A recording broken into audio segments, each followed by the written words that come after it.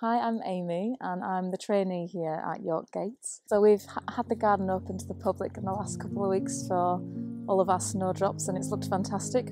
But now, as you can see, they're, they've gone over and they're browning, but we're going to take this time of year while they've still got their leaves. We know where they are, we know where the big clumps are, so we're going to divide some up, spread them around.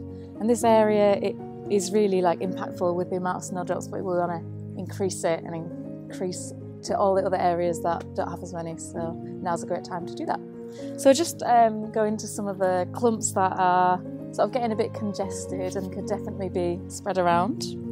At this time of year, sometimes you can see the bulbs actually like pushing to the surface. So then that's showing that it's getting a bit congested and they could definitely be divided.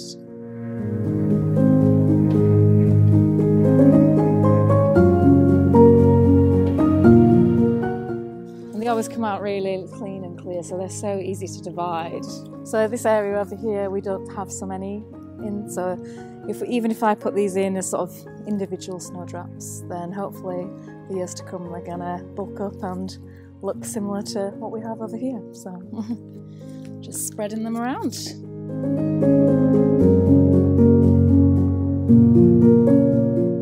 It's so good this time of year because they've already got their leaves on. You can see what they're going to look like when they come back. Uh, this snowdrop is um, it's called S. Arnott, and it's quite a large one and a really nice large flowering one. And it also, not all snowdrops do, but this one has a honey scent to it, so it's really gorgeous.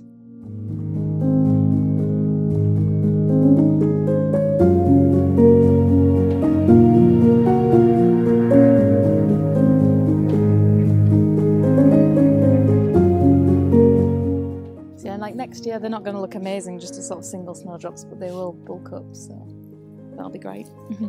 In the garden, we have a lot of different varieties.